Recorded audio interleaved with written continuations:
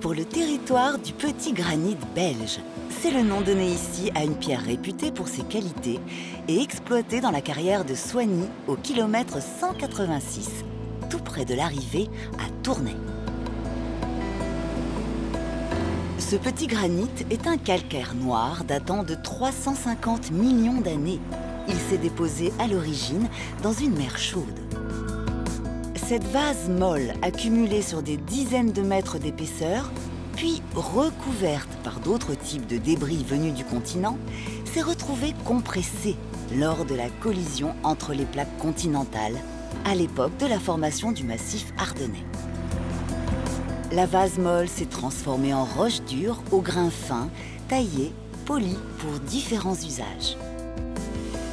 Exploité depuis 300 ans, le petit granit belge, merveilleuse pierre du Hainaut, s'exporte dans le monde entier.